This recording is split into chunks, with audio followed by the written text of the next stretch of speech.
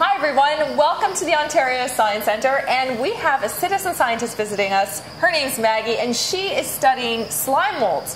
What the heck are slime molds? Slime molds are little blob things. They grow all over the world in many different colors. These are basically single celled creatures. Some of them you cannot see unless you have a microscope. Some of them can get to be the size of a big pizza. The most common one that you'd probably find is the dog vomit one you mentioned. Mm-hmm. It's big and usually yellow. It can range in colors from reds and oranges.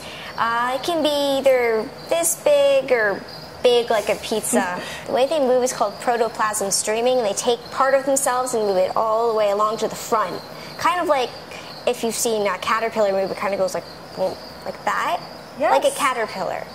And it moves fairly quickly. Overnight, it can move all the way across a petri dish. What types of places do they do they grow? Do they tend to live? If you go in a big forest with lots of rotting logs on the ground, it's really old, and you look underneath the logs mm-hmm. and you look through the leaves and things, you and it's damp, you may just find one.